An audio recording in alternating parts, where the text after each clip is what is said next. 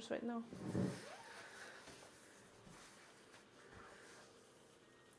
I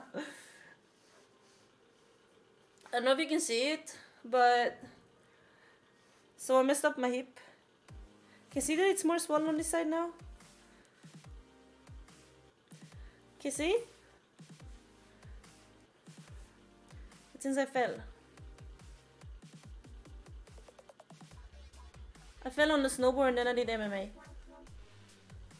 Like you can see it more if I sit like this, I think. Actually, not so much on the